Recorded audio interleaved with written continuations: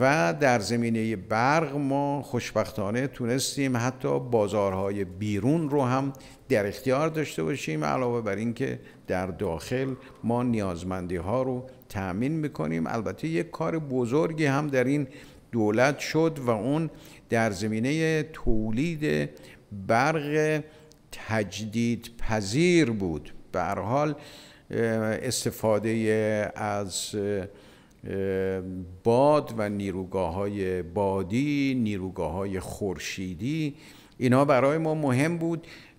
در برق تجدید پذیر 80 درصد مربوط به این دولت هست. یعنی در دولت 11 و 12 تحقق پیدا کرده.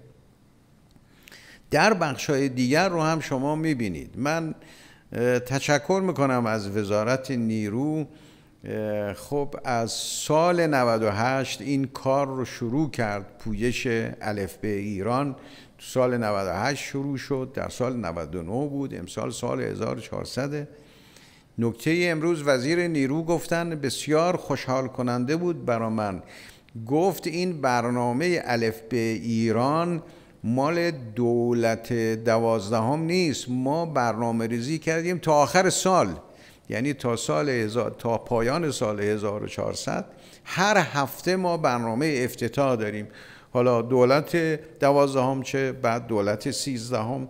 این خیلی مهمه که وزارت خونه های ما به فکر این نباشن که این دولت کی تمام میشه. حالا هر وقت می‌خواد تمام میشه بحث دولت نیست اساسا. بحث کشوره. بحث ملت بحث نیازمندی هاست. بحث وظیفه است. این نیست که ما بگیم چون ما در این دولتیم باید خیلی بدوبیم فعال باشیم. وقتی این دولت تمام شد خب دیگری مسئول پس ما نباید فعالیت کنیم. نه هر کسی در حد توانش در هر دولتی باشه.